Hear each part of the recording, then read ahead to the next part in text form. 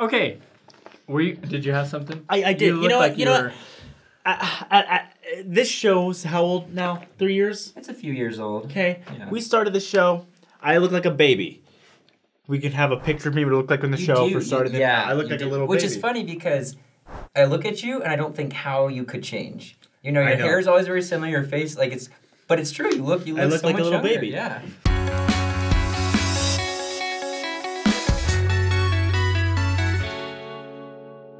Well, guys, um, since then we've had so many comments from evangelicals. The first episode to this episode, evangelicals will comment, people of all the religions will comment, and we have to answer sometimes. So, how do you answer without being a jerk? Is the question.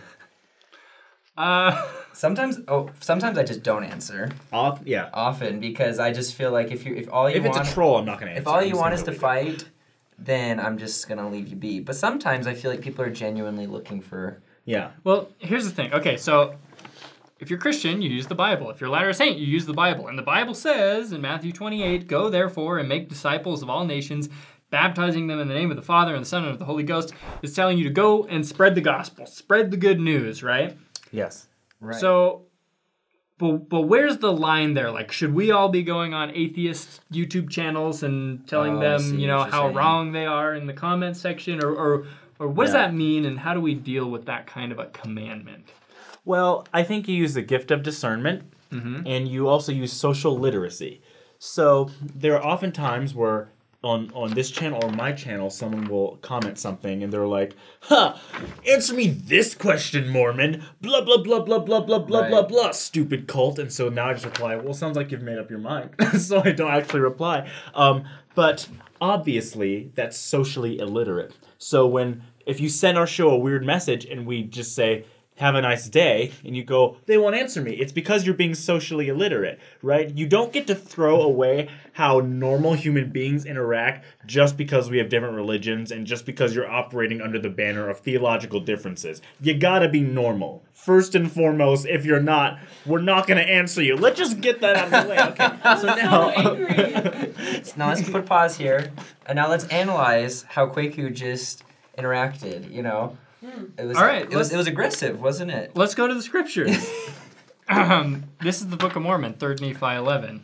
He that hath the spirit of contention is not of me, saith the Lord, but is of the devil, who is the father of contention, and he stirreth up the hearts of men to contend with anger, one with another. Behold, this is not my doctrine, to stir up the hearts of men with anger, one against another, but this is my doctrine, that such things should be done away. Done away. Okay. No, you're out. Fired. Fire. Fire! Fire! Fire! but Oh. I barely get paid. If you can't get fired. But a question I have is, um, so, so when we say the spirit of contention, that person's not of God. But the question is, how do you define spirit of contention? Because there's also righteous anger that the Right. scriptures talk about. Right. So what is the difference between contentious anger and righteous anger? The Justin, difference. what do you think? It's hard I'm, to I'm discern. looking it up on my phone. And of course, the person giving out always thinks they have righteous anger, right? But then if you if you're on the brute end of their righteous anger, you think they're having it's contentious, right? So, So what is this episode about? contention and missionary work. Oh, great. it's deep. Yeah. Come on, we can make it a little So deeper. You I know? think I think no one has ever joined the church because they felt attacked. True. That's a great point. I've never seen someone get yelled at or or like angried at and thought, "Oh, you're right. I'm going to now join your church and do everything you've told me." I have seen thousands, if not millions of people join the church because they felt loved. Hmm. Yes. Even though they did not agree with what you said, people 20 years down the road think, "Oh, my friend who was a member of the church was always so kind and loving and respectful. Maybe there was some stock." And then when the missionaries come to their door, they're nice enough to let them in.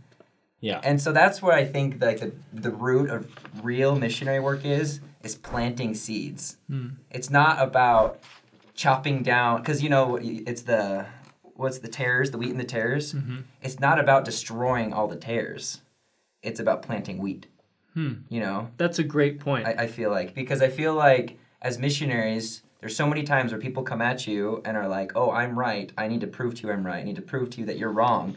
And just emotionally, I was like, "This is a waste of both of our time. Yeah. You know, like Yeah.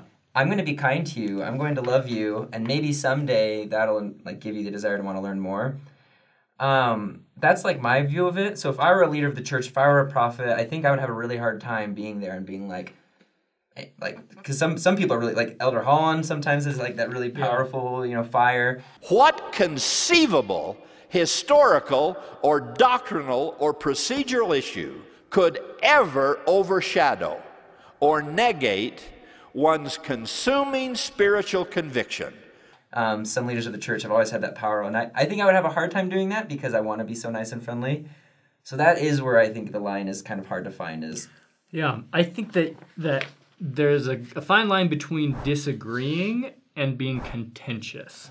I think Yeah. oftentimes people will have questions, and so if like one person has a question, the other person is trying to answer that sincere question. Sometimes people just ask questions as a challenge, you know, as Right. hey, I dare you to answer this because I already have my response prepared to show you why you're wrong.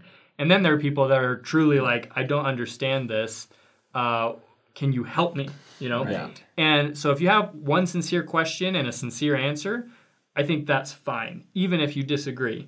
Uh, but if it's one person trying to convince the other that they're wrong, Right. and that person trying to convince the other person that they're wrong, then that's contention, and that's not how the gospel of Jesus Christ is meant to be shared. And if that is your idea of missionary work, you are a missionary for the wrong side.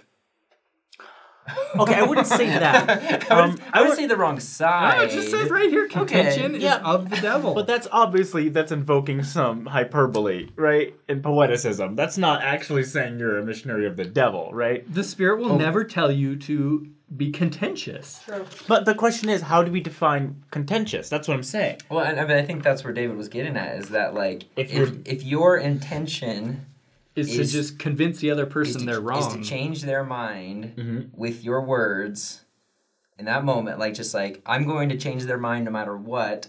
I feel. Oh, yeah, I think know, that. Yeah, but obviously, I do think like a great example, Parley P. Pratt, right? He was Yeah, one of the yeah. he did do debates and stuff all the time. Right. He, he wrote some some tough letters. He wasn't serving the devil though, right?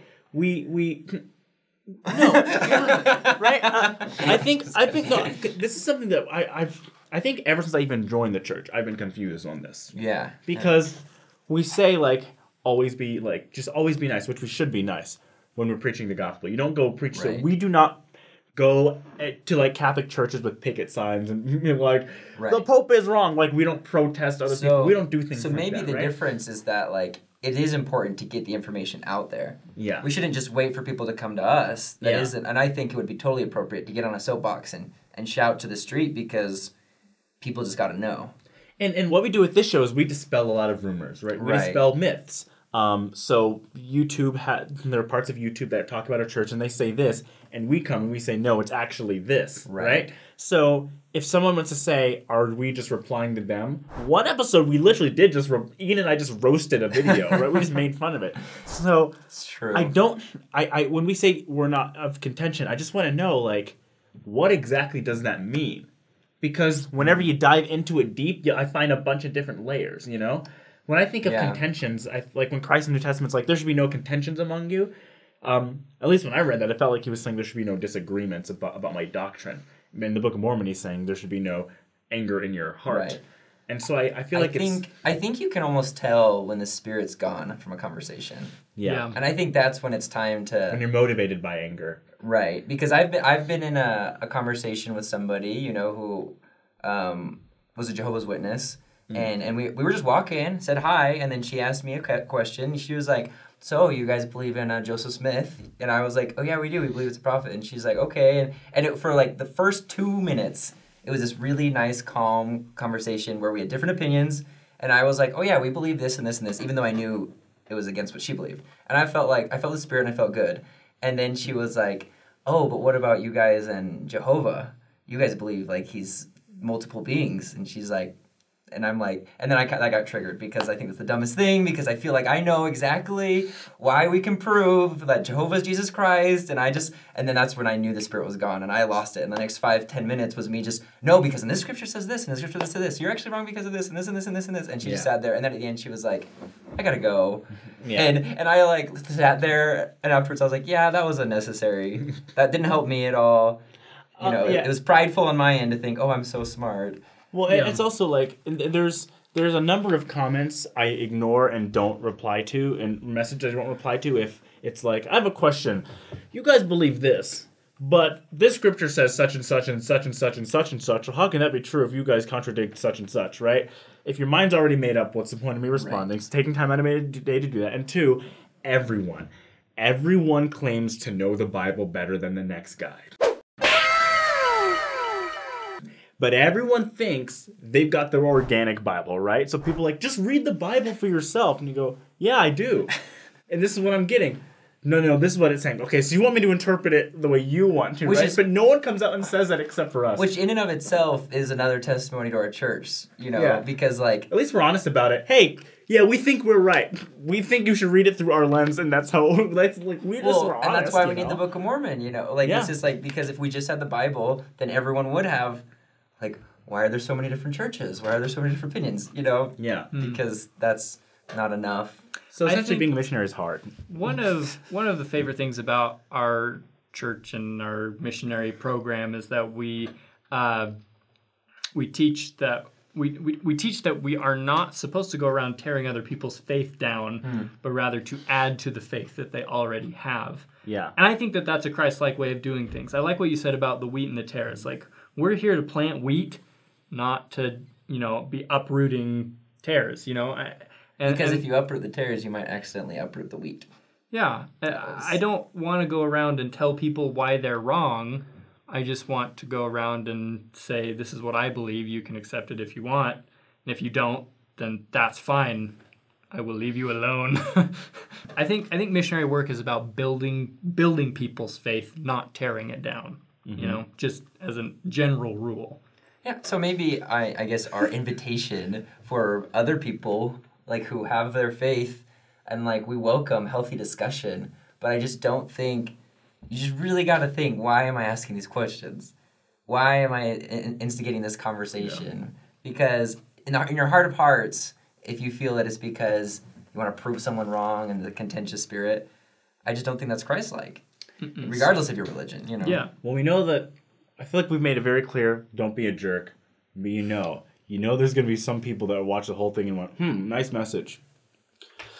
Listen, you cultists. Like you just know they're just like "Mm, cult magic underwear. Like they just can't help it. Like they're just a magnet in their hand that just keeps. And that's called you. an addiction. It is In which too. we have a 12 step recovery program. and if you need help, you like you Yes. can go to the website. We'll leave the link below.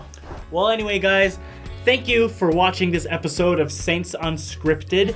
And if you liked it, share it with your friends and family and comment below. And follow us on social medias. Also, um, I love to wake Oh up in the morning and have a nice, cool, refreshing drink of Mountain Dew low calorie diet. Quick is watching his weight. Mm. Hey, share in the comments uh, your thoughts on this. We this was Oh, really yeah. just like a, a good discussion, and we'd like to hear what your thoughts are. Yes. What do you think? Like, where's the line between missionary work and and contention, and how do you handle that?